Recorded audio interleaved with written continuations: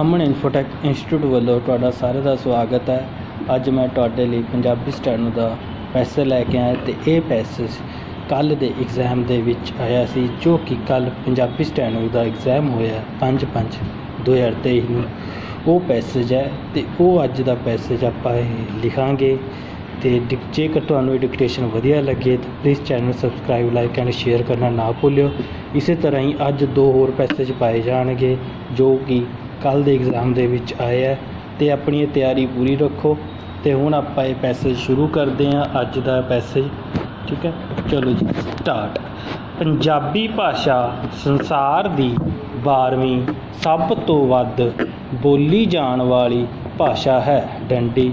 ਵੱਖ-ਵੱਖ ਅਨੁਮਾਨਾਂ ਅਨੁਸਾਰ ਇਸ ਦੇ ਬੁਲਾਰਿਆਂ ਦੀ ਸੰਖਿਆ 12 ਤੋਂ 15 ਕਰੋੜ ਦੇ ਵਿਚਕਾਰ ਆਕੀ ਗਈ ਹੈ। ਡੰਡੀ, ਪੰਜਾਬੀ ਦੀ ਵਿਲੱਖਣ ਵਿਸ਼ੇਸ਼ਤਾ ਇਹ ਹੈ ਕਿ ਇਹ ਦੋ ਵੱਖ-ਵੱਖ ਲਿਪੀਆਂ ਵਿੱਚ ਲਿਖੀ ਜਾਂਦੀ ਹੈ। ਡੰਡੀ ਭਾਰਤ ਵਿੱਚ ਇਸ ਨੂੰ ਗੁਰਮੁਖੀ ਲਿਪੀ ਵਿੱਚ ਲਿਖਦੇ ਹਨ ਅਤੇ ਪਾਕਿਸਤਾਨ ਵਿੱਚ ਇਸ ਨੂੰ ਸ਼ਾਹਮੁਖੀ ਉਰਦੂ ਲਿਪੀ ਵਿੱਚ ਲਿਖਿਆ ਜਾਂਦਾ ਹੈ। ਡੰਡੀ ਇਉਂ ਇੱਕ ਹੀ ਭਾਸ਼ਾ ਬੋਲਣ ਵਾਲਿਆਂ ਲਈ ਲਿਪੀ ਇੱਕ ਦੀਵਾਰ ਬਣ ਗਈ, ਜਿਸ ਕਾਰਨ ਇੱਕ ਹੀ ਭਾਸ਼ਾ ਬੋਲਣ ਵਾਲਿਆਂ ਦੇ ਦੋ ਦਾਇਰੇ ਬਣ ਗਏ ਹਨ। ਡੰਡੀ, ਭਾਰਤ ਵਿਚਲੇ ਪੰਜਾਬੀ ਭਾਸ਼ਾ ਬੋਲਣ ਵਾਲੇ ਸ਼ਾਹਮੁਖੀ ਲਿਪੀ ਨਹੀਂ ਪੜ੍ਹ ਸਕਦੇ ਅਤੇ ਪਾਕਿਸਤਾਨ ਵਿਚਲੇ ਪੰਜਾਬੀ ਬੋਲਣ ਵਾਲੇ ਗੁਰਮੁਖੀ ਲਿਪੀ ਨਹੀਂ ਪੜ੍ਹ ਸਕਦੇ। ਡੰਡੀ, ਇਹ ਹਾਸੋਹੀਣ ਲੱਗਦਾ ਹੈ ਕਿ ਪੰਜਾਬੀ ਬੋਲਣ ਵਾਲੇ 75% ਲੋਕ ਪਾਕਿਸਤਾਨ ਵਿੱਚ ਰਹਿੰਦੇ ਹਨ, ਪਰ ਭਾਰਤੀ ਪੰਜਾਬ ਦੇ ਉਲਟ ਪਾਕਿਸਤਾਨ ਪੰਜਾਬ ਵਿੱਚ ਪੰਜਾਬੀ ਭਾਸ਼ਾ ਨੂੰ ਸਰਕਾਰੀ ਸਰਪ੍ਰਸਤੀ ਹਾਸਲ ਨਹੀਂ ਹੋ ਸਕੀ। ਜਿਸ ਕਾਰਨ ਸਰਕਾਰੀ ਪੱਧਰ ਉੱਪਰ ਪੰਜਾਬੀ ਭਾਸ਼ਾ ਦੀ ਸੰਭਾਲ ਤੇ ਵਿਕਾਸ ਲਈ ਕੋਈ ਉਪਰਾਲਾ ਨਹੀਂ ਕੀਤਾ ਜਾ ਰਿਹਾ, ਡੰਡੀ ਸਰਕਾਰੀ ਸਮਰਥਨ ਅਤੇ ਫੰਡਾਂ ਦੀ ਅਣਹੋਦ ਕਾਰਨ ਸ਼ਾਹਮੁਖੀ ਲਿਪੀ ਤਕਨੀਕੀ ਤੌਰ ਤੇ ਵਿਕਸਿਤ ਨਹੀਂ ਹੋ ਸਕੀ। ਡੰਡੀ ਇਉਂ ਸ਼ਾਹਮੁਖੀ ਲਿਪੀ ਵਿੱਚ ਗੁਰਮੁਖੀ ਲਿਪੀ ਜਿੰਨਾ ਤਕਨੀਕੀ ਵਿਕਾਸ ਨਹੀਂ ਹੋਇਆ, ਬਲਕਿ ਕੰਪਿਊਟਰ ਤੇ ਪ੍ਰਯੋਗ ਪ੍ਰਯੋਗ ਕਰਨ ਲਈ ਸ਼ਾਹਮੁਖੀ ਵਿੱਚ ਨਾ ਵਰਡ ਪ੍ਰੋਸੈਸਰ ਨਾ ਹੀ ਮੁੱਢਲੇ ਭਾਸ਼ਾ ਵਿਗਿਆਨਕ ਸਰੋਤ ਜਿਵੇਂ ਕਿ ਡਿਜੀਟਲ ਡਿਕਸ਼ਨਰੀਆਂ ਵਗੈਰਾ ਉਪਲਬਧ ਹਨ। ਡੰਡੀ, ਇਸ ਲਈ ਐਸੀ ਪੰਜਾਬੀ ਭਾਸ਼ਾ ਦੇ ਤਕਨੀਕੀ ਵਿਕਾਸ ਦੀ ਗੱਲ ਗੁਰਮੁਖੀ ਲਿਪੀ ਦੇ ਸੰਦਰਭ ਵਿੱਚ ਹੀ ਕਰਦੇ ਹਾਂ।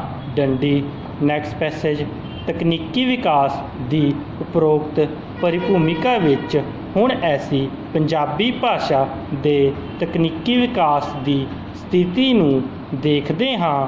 ਡੰਡੀ, ਸਭ ਤੋਂ ਪਹਿਲਾਂ ਐਸੀ ਭਾਸ਼ਾ ਲਈ ਮੁੱਢਲੇ ਤਕਨੀਕੀ ਸੌਫਟਵੇਅਰ ਜਿਵੇਂ ਕਿ ਵੋਟਾਂ ਟਾਈਪਿੰਗ ਸੌਫਟਵੇਅਰਾਂ, ਸ਼ਬਦ ਜੋੜ ਨਿਰੀਖਕ, ਵਿਆਕਰਣ ਨਿਰੀਖਕ ਅਤੇ ਵਰਡ ਪ੍ਰੋਸੈਸਰ ਆਦਿ ਸੌਫਟਵੇਅਰਾਂ ਤੋਂ ਸ਼ੁਰੂ ਕਰਦੇ ਹਾਂ। ਡੰਡੀ ਕੰਪਿਊਟਰ ਤੇ ਕਿਸੇ ਵੀ ਭਾਸ਼ਾ ਨੂੰ ਟਾਈਪ ਕਰਨ ਅਤੇ ਪੜ੍ਹਨ ਲਈ ਸਭ ਤੋਂ ਪਹਿਲਾਂ ਸਭ ਵੋਟ ਦੀ ਜ਼ਰੂਰਤ ਹੁੰਦੀ ਹੈ। ਡੰਡੀ ਪੰਜਾਬੀ ਭਾਸ਼ਾ ਲਈ ਫੌਂਟ ਵਿਕਸਿਤ ਕਰਨ ਵਿੱਚ ਡਾਕਟਰ ਕੁਲਬੀਰ ਸਿੰਘ ਥਿੰਦ ਦੀ ਬਹੁਤ ਵੱਡੀ ਦੇਣ ਹੈ, ਜਿਨ੍ਹਾਂ ਨੇ 1984 ਵਿੱਚ ਮੈਕਿਨਟੋਸ਼ ਕੰਪਿਊਟਰ ਲਈ ਸਭ ਤੋਂ ਪਹਿਲਾਂ ਪੰਜਾਬੀ ਫੋਨ ਤਿਆਰ ਕੀਤਾ ਡੰਡੀ।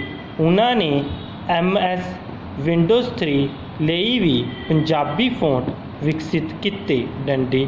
ਉਹਨਾਂ ਨੇ 1995 ਵਿੱਚ ਗੁਰਬਾਣੀ ਸੀਡੀ ਦਾ ਪਹਿਲਾ ਸੰਸਕਰਣ ਰਿਲੀਜ਼ ਕੀਤਾ, ਜਿਸ ਵਿੱਚ ਉਹਨਾਂ ਨੇ ਕੰਪਿਊਟਰ ਉੱਤੇ ਪੰਜਾਬੀ ਵਰਤਣ ਵਾਲਿਆਂ ਲਈ ਪੰਜਾਬੀ ਫੌਂਟ ਮੁਹੱਈਆ ਕਰਵਾਏ, ਜੋ ਲੋਕਾਂ ਵਿੱਚ ਬਹੁਤ ਹੀ ਹਰਮਨ ਪਿਆਰੇ ਹੋਏ। ਡੰਡੀ, ਉਹਨਾਂ ਦੀ ਲੋਕਪ੍ਰਿਯਤਾ ਦਾ ਅੰਦਾਜ਼ਾ ਇਸ ਗੱਲ ਤੋਂ ਲਗਾਇਆ ਜਾ ਸਕਦਾ ਹੈ ਕਿ ਅਨਮੋਲ ਲਿਪੀ ਅਤੇ ਅੰਮ੍ਰਿਤ ਲਿਪੀ ਵਰਗੇ ਜਿਹੜੇ ਫੌਂਟ ਗੁਰਬਾਣੀ ਸੀੜੀ ਨਾਲ ਅੱਜ ਤੋਂ 25 ਵਰੇ ਪਹਿਲਾਂ ਵੰਡੇ ਗਏ ਸਨ, ਉਹ ਅੱਜ ਵੀ ਪੂਰੀ ਦੁਨੀਆ ਵਿੱਚ ਲੋਕਾਂ ਵੱਲੋਂ ਵਰਤੇ ਜਾ ਰਹੇ ਹਨ। ਡੰਡੀ, ਭਾਵੇਂ ਕਿ ਇਨ੍ਹਾਂ ਐਸਕੀ ਆਧਾਰਿਤ ਪੰਜਾਬੀ ਵੋਟਾਂ ਨੇ ਪਰਸਪਰ ਵਿਰੋਧੀ ਕੀਬੋਰਡ ਲੋਆਊਟ ਉੱਤੇ ਆਧਾਰਿਤ ਹੋਣ। ਡੰਡੀ। ਲੋ ਜੀ, ਇਹ ਆਪਣਾ 80 ਵਰਡ ਪਰ ਮਿੰਟ ਦਾ ਪੈਸੇਜ ਪੂਰਾ ਹੋ ਗਿਆ ਆਈ ਹੋਪ ਤੁਸੀਂ ਇਹ ਲਿਖ ਲਿਆ ਹੋਊਗਾ ਤੇ ਆਪਣੀ ਇੱਦਾਂ ਹੀ ਤਿਆਰੀ ਕਰਦੇ ਰਹੋ ਤੇ ਹੋਰ ਵੀ ਜੇ ਸਾਡੇ ਕੋਲ ਸਟੈਨੋ ਦੇ ਰਿਗਾਰਡਿੰਗ ਅੱਜ ਦੇ ਐਗਜ਼ਾਮ ਆਉਂਦੇ ਆ ਤੇ ਉਹ ਵੀ ਅਸੀਂ ਵੀਡੀਓ ਪਾਵਾਂਗੇ। ਉਸ ਤੋਂ ਇਲਾਵਾ ਇਹਦੇ ਵਿੱਚ ਸਟੋਰੀ ਦਾ ਵੀ ਕੱਲ ਪੈਸੇਜ ਆਇਆ ਸੀ, ਉਹ ਵੀ ਤੁਹਾਨੂੰ ਪੈਸੇਜ ਪਾ ਦਿੱਤਾ ਜਾਏਗਾ। ਤੇ ਜੇਕਰ ਡਿਕਟੇਸ਼ਨ ਵਧੀਆ ਲੱਗੇ ਤਾਂ please channel subscribe like and share ਕਰਨਾ ਨਾ ਭੁੱਲਿਓ। Thank you